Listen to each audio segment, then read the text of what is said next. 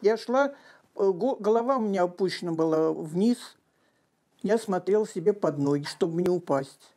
И он выхватил сумку и убежал. Все произошло так быстро, что 74-летняя пенсионерка не сразу поняла, что случилось. Неизвестный мужчина напал на нее в Первомайском районе всего в нескольких метрах от дома. В похищенной сумке были ценные вещи, мобильный телефон, деньги и документы.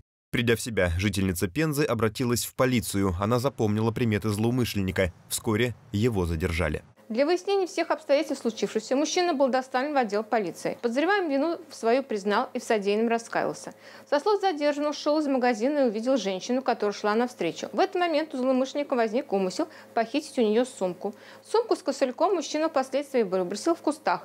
Похитил только 700 рублей. Остальную сумму в спешке он не нашел. В отделе полиции возбуждено уголовное дело по статье «Грабеж». Злоумышленник заключен под стражу. Он может угодить за решетку на срок до 4 лет.